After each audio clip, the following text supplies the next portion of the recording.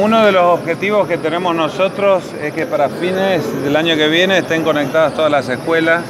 Ahora que firmamos este convenio seguramente vamos a avanzar más rápido porque el gobierno nacional nos va a dar una mano también. Nosotros veníamos haciéndolo con recursos propios a través del Fondo de Desarrollo Rural. Ahora vamos a estar trabajando con el ENACOM, con ARSAT, con el Ministerio este, que representa el ministro Ibarra, donde vamos a, acelerar este proceso y vamos a tratar de tener el 100% de las escuelas terminadas. Pero también estamos trabajando en los contenidos, porque no tenemos que tener solamente la conectividad, sino que tenemos que trabajar los contenidos, donde vamos a estar haciéndolo este, con el Ministerio de Educación. Pero este convenio, por sobre todas las cosas, es fundamental porque vamos a tener redes de fibra óptica que van a ser complementarias donde la nación va a poder acceder a las redes nuestras, pero nosotros vamos a poder acceder a las redes de nación con 408 kilómetros de fibra óptica extendida. Nosotros estamos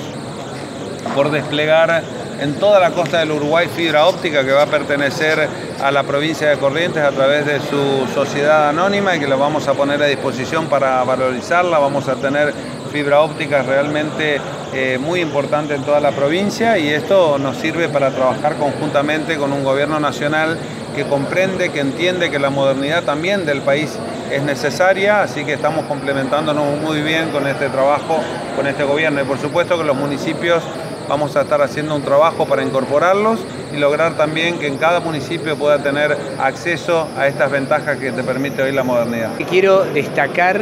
el compromiso político del gobierno de Corrientes, del gobernador Valdés, que recién en, toda su explicación y en su discurso hacía un repaso de todo lo que está haciendo Corrientes en esta materia y que es tan pero tan importante para todos los correntinos. Lo mismo que está haciendo Eduardo en la, capital, porque eh, Corrientes en este sentido está llevando adelante un plan de modernización incorporando eh, todo lo que tiene que ver con los expedientes electrónicos, con todos los desarrollos que se pueden hacer a nivel de la, de la modernidad, pero efectivamente hay una pata para todo esto que es fundamental, es que si no logramos la conectividad adecuada, la velocidad de banda adecuada para transmitir imágenes, datos, que todo esto esté en todos los rincones de la provincia, con la fibra óptica, también con la telefonía celular. Si no se logra eso, no es posible llevar la modernidad a cada